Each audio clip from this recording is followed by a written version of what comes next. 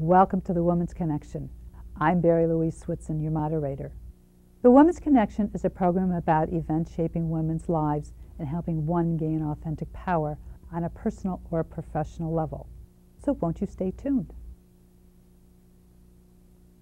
We all have something in common, and it doesn't matter who you are or what you are. And it's not really what I call a compliment. It's called stress. How do we minimize our daily stress that we are under? With me is Dr. Roberta Lee, who wrote a book called The Super Stress Solution. And I would like to welcome Dr. Lee. It's great to be here.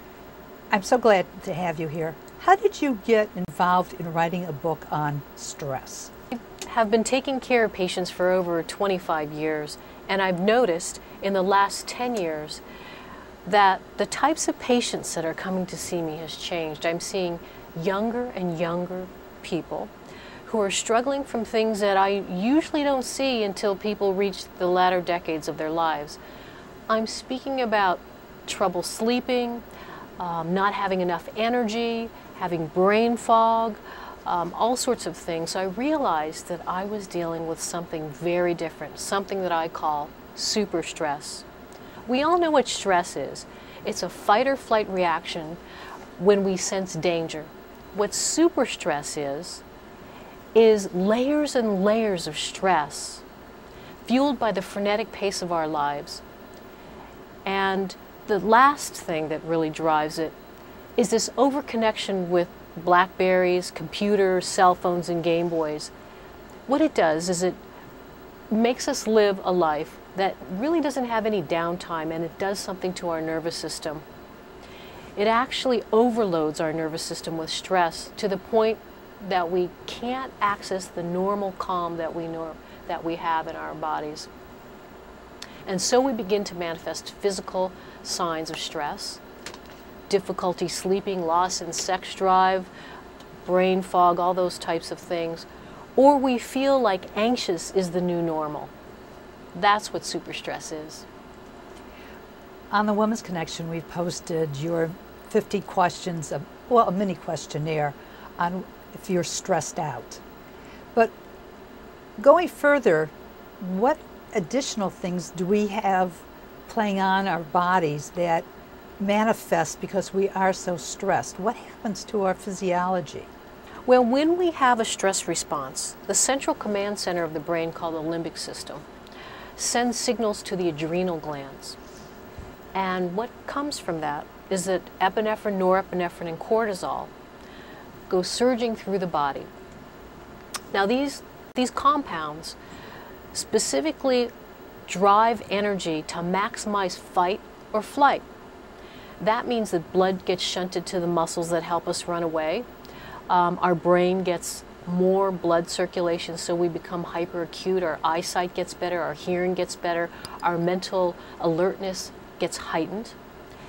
But the problem is this response was meant evolutionarily to shut down after an hour or two.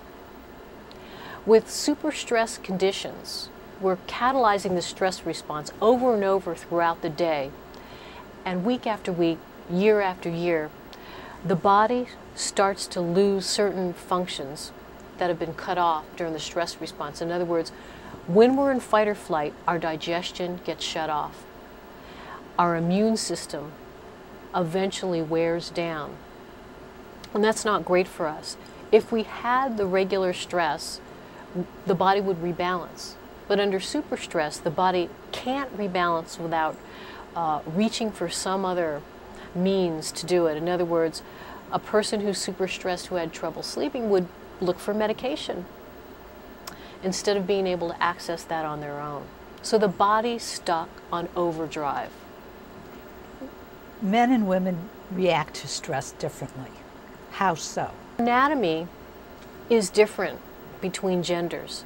If you look at the brain nervous connection, you'll see that in the prefrontal cortex, that's right where we have uh, a sense of our, our surroundings, women actually are more aware of their body sensations when they have stress. So if I was to give equal amounts of stress to a woman and a man, the woman would actually feel the stress much more than the man, even though the stress presented would be about the same amount. Experts think that this is an evolutionary strategy for caretakers of the young. If we're hyper alert to the fact that we're in a dangerous situation, we'll be much more successful in caring for the young. Whereas if we're going to battle, the last thing we want to do is feel stress. We want to have stress hardiness to tough it out, if you will. You also say in your book that stress is linked to violence. How so? Well, I tend to think of super stress as a saturation of the stress response in the body so the body can't rebalance. Violence is really one of many examples of the body not being able to blow off steam, if you will. So what happens is that that stressed individual channels that energy into anger, into irritability, into um, anxiety, or any number of things. Some people get depressed instead of getting violent. It's just a sign that you're not being able to rebalance yourself and access calm. What are some good stress buster exercises that you can do either in office or at home to really chill out, especially since you say, and it's really true, we do lead such a frenetic lifestyle. We need that moment of calm. How do we get it? Well, the first thing I'd like people to know is when they're under chronic stress, in order to have a super stress solution, you don't have to be in bliss 24 7. All you need to do is bring in a moment of calm for five or 10 minutes on a daily basis. What this does is it engages the memory of the body to naturally access relaxation again. If you're constantly accessing the, the, stress response, what happens is that ability to access the calm atrophies. It's like a muscle, you have to use it. So, what I like to suggest to people is that they can use something that they do every day, which is breathe. When you take a deep, relaxing breath, you're accessing the vagus nerve, which is one of the biggest nerves that enhances the relaxation response. My favorite breath exercise, which I'm going to show you now, is the 4-5 breath. And basically, it's breathing in through the nostrils to count of 4. I'm blowing out through your mouth to count of 5. Let's try that one more time.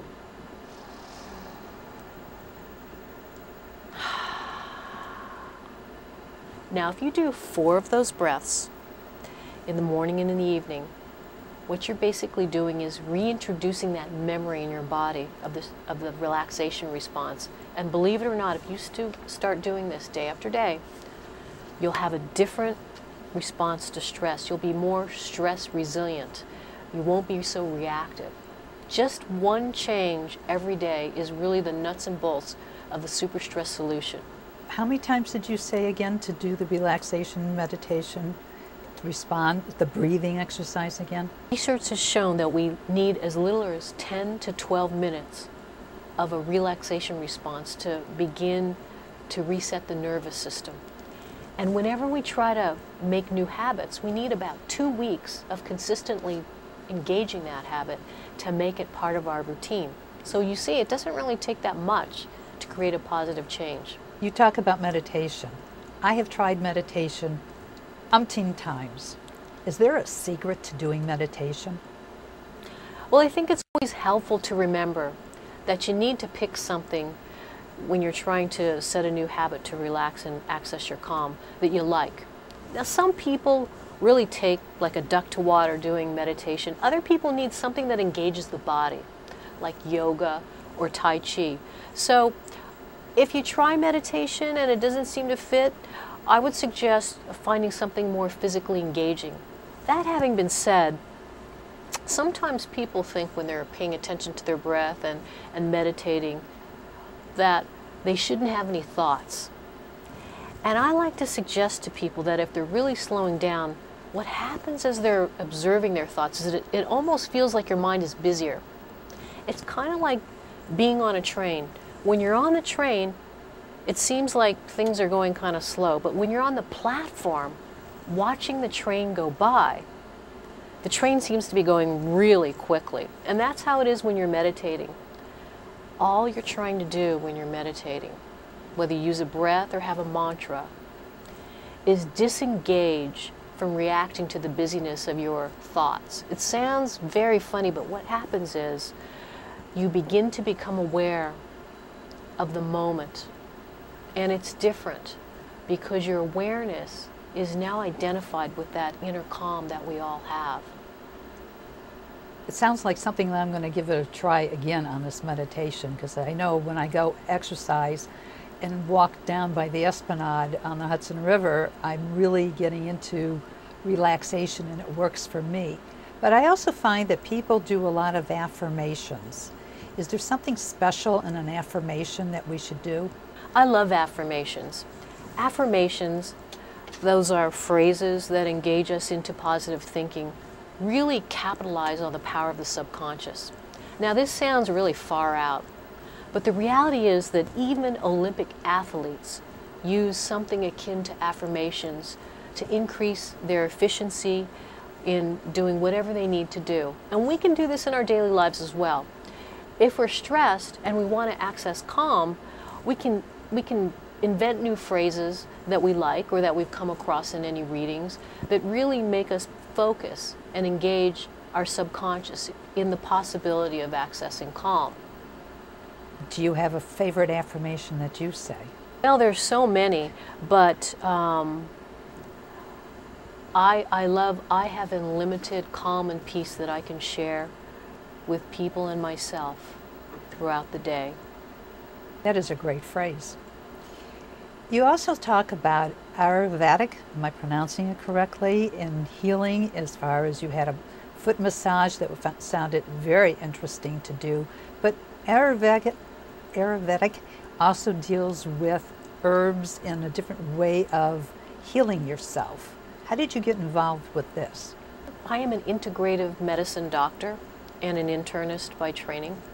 And part of that approach is engaging the whole person and engaging indigenous systems, healing systems, in part of the equation of gaining control over your health. Ayurveda is one of those beautiful ancient traditions that was born in India, which uses lifestyle modification, diet, exercise, and states of mind to engage a healthy outcome. Now, in this regard, we're talking about beating stress. When people are super stressed, what happens to them is they become focused in the future and they lose body awareness. So I picked something that I think is really soothing, like a foot massage, to use as something as a self-aid to engage calm. One of the most effective ways to gain calm is to use all of your senses to recruit calm. So if you're touching your foot at special points and using a favorite oil that has a wonderful scent with, a, with an essential oil like lavender, you're using two or three senses in the body to bring out that sense of calm that your body naturally can access. You talk about lavender, which happens to be one of my favorite fragrances. Is there a way to disengage from a hectic day at the office or your lifestyle. It doesn't have to be at the office. It could be just your lifestyle that can put you to sleep so that you can get a good night's sleep. Well, you bring up a great point. You know, we can set the stage for calm by putting in favorite rituals. One of my favorite rituals, and I suggest this in the Super Stress Solution book, is to use essential oils as you're taking a bath or a shower. I'll usually use a liquid soap with lavender oil as part of that uh, scent. And when I'm washing, the aroma of the lavender engages my the system, the olfactory system. That's a system that engages smell. And this actually goes directly into the central command center where fear and calm are mediated, bringing a sense of calm. Some people like showers. I suggest they put one or two drops of lavender oil in their shower and let it vaporize. And that's a whole other way to set the stage for relaxation. I usually do this about a half an hour before I'm going to bed. And when I do that, it's sort of a signal to my body that I'm letting go of all the wear and tear that happened during the day. Should you put some drops of lavender on your pillowcase? Or is that overdoing it? It turns out through research that we actually don't even have to have the awareness of the aroma to engage a relaxation response when we're using an essential oil. So for those who love the scent of lavender, uh, oil. They can certainly put it on a pillow or, or um, a little bouquet, but it's, it's not necessary. Some people can use a very small amount in a diffuser and let it vaporize over time. I know that um, couples often don't have the same appreciation for lavender scent, that you don't have to smell the lavender to elicit the relaxation response. So it depends what you like. You've done a lot of research in indigenous uh, countries about different plants. Tell us a little bit more about that. Well, I've been very intrigued with the power of plants. You know, plants have chemicals that they use to survive because they don't have legs, they can't run away. And so it turns out that many of the factors in plants, in botanicals, are actually uh, very active medicines. Um, many of the indigenous cultures have capitalized on this. Ayurveda is one example, Chinese medicine is another. And I put in a number of supplements and herbs that have relaxing properties for people who might not necessarily want to take medication. That having been said, and being a doctor, I'd like to suggest that if you're going to use supplements, even if they're over the counter, you want to work with your healthcare practitioner because sometimes these things can can alter the medications that you're taking, or they have medical effects all on their own. Even if you're not taking any medication, it's great to let your doctor know what's going on. How do you really apply it? Do you do it slowly? I mean, you said to check with the doctor, but do you do it slowly or what's the best way to get into this? All you need to remember is if you put one or two things in your daily life that elicits that sense of calm and, and put this in on a daily basis, you're going to get to that same state of beating super stress and enhancing your resilience against stress. My favorite two suggestions if you're going to do the limited plan is to build in the four or five breath on a daily basis, four breaths twice a day, and put a five minute break in the middle of your day. Because most people, when they're on the go, the last thing they feel that they have is a little time to slow down. But it turns out that your productivity and your creativity actually get enhanced when you give yourself a little break in the middle of the day. Five different types of super stress. Would you elaborate? As I've worked with hundreds of people engaged in the problems of super stress. I've found that there are five typical reactions that people have to stress because you know we don't all react to things the same way. Some people get burned out and exhausted when they're chronically stressed. Others become emotionally oversensitive. Others have difficulty um, handling complex, you know, multitasking things. Some people be become controlling and quiet, and others become explosive. In other words, their tempers get out of control. Those are the five typical super stress types. And the reason why I made these types is that pictures are worth a thousand words. If you're trying to build an approach that's personalized, if you have a picture of how you react, it's a little easier for you to pick the things that are more effective for you to access calm. There's some really good foods that we should incorporate in our daily meal? Well, before I answer that question, I'd just like to say that whenever we have a stress response and that surge of adrenaline, norepinephrine, or, or cortisol, what we're doing is we're increasing the inflammatory response in the body. And if you have chronic stress, you can imagine that your inflammatory state is quite heightened. So I picked a diet that has anti-inflammatory activity, and that's the Mediterranean diet. What's good about that diet is it has omega-3 fatty acids. These are the essential oils that are found in, in cold water fish like salmon, tuna, herring, mackerel, and sardines. Or if you're a vegetarian, you can get this oil from flaxseed. That's one part of the Mediterranean diet that's positive. The second part is that it uses a lot of olive oil. Olive oil has some very powerful anti-inflammatory activity. And so I use it as part of a salad oil dressing. I might use it if I'm lightly cooking something. Um, there's lots of fruits and vegetables in the Mediterranean diet. There's whole grains. And um, there's not a lot of saturated fat in, in meats, in other words, red meats, or high-fat dairy. There are some superfoods that I think are, are really great to highlight I don't know how you feel about chocolate, but I am a chocolate lover. And it turns out the dark chocolate, that is chocolate with cocoa mass that's 65% or higher, has a high antioxidant and mineral content, higher than blueberries, blackberries, and other fruits and vegetables that we know are good for us. So, as a treat, I suggest a third of a bar of dark chocolate on a daily basis as a way to reduce inflammation and rise or, or bring out all the vitamins that we need. We overutilize this in the stress response. What kind of spices do you recommend on a daily basis or to incorporate into your meal? Spices that have very powerful medical influences. Uh, one of the ones that comes to mind is turmeric. You know, turmeric is one of the five spices that you find in curry.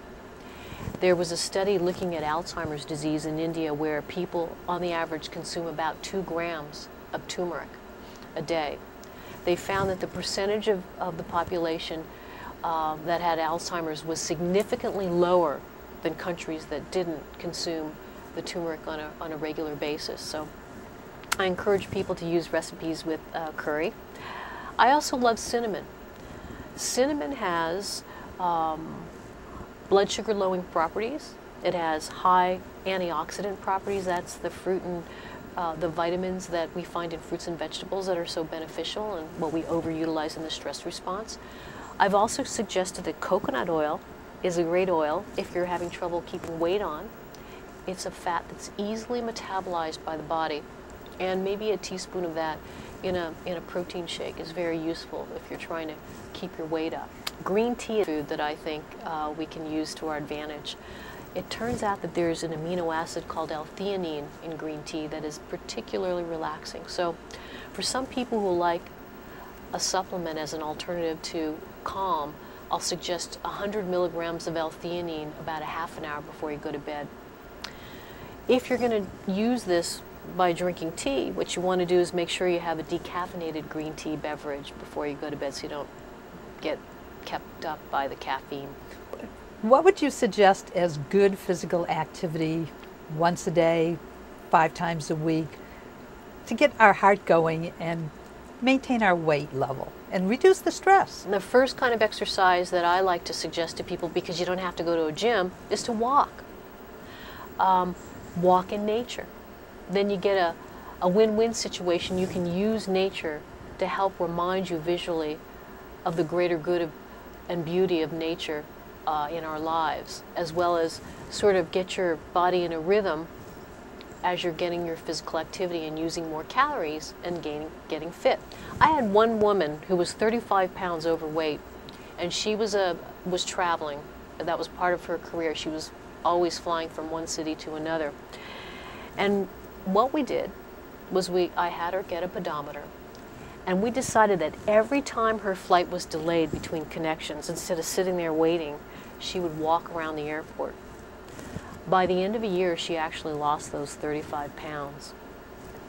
So that just shows you that just walking alone is a very powerful way to, to get fit and to access calm. Tapes and DVDs for 10 minutes at a time to tone your abs, your abdomen, to tone the rest of your body, or um, perhaps use Pilates, which is a very good balancing kind of technique, to begin to engage physical activity without accessing the gym. Because I think most people are very, very busy, and you know, it, you'll lose almost an hour and a half every time you have to go to and fro from a gym.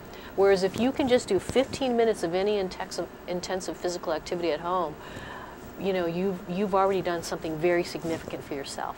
Dr. Lee, it's just wonderful learning about how we can unstress ourselves on a daily basis.